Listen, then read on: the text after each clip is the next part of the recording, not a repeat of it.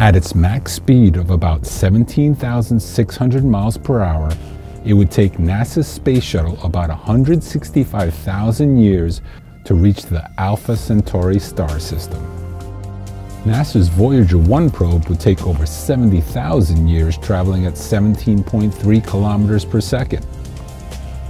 But with a probe that can travel 20% the speed of light, we can reach it in just over 20 years.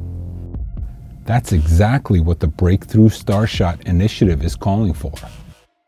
The idea is to send light sail riding nanocrafts to gather data and images on the Alpha Centauri system.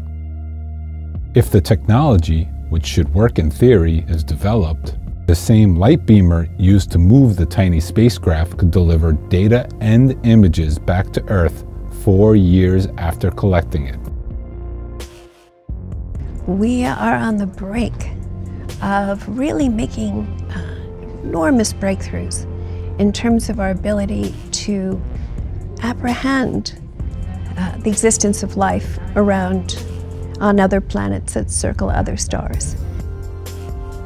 Astronomers and exobiologists are working together to conceive whole new strategies for identifying life at a distance.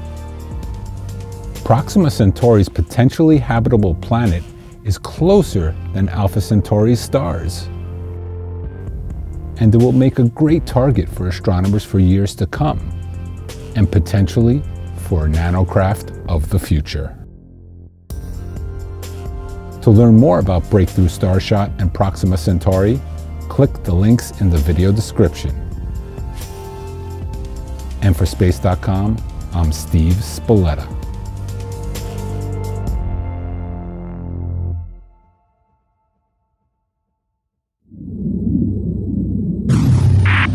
Space.com.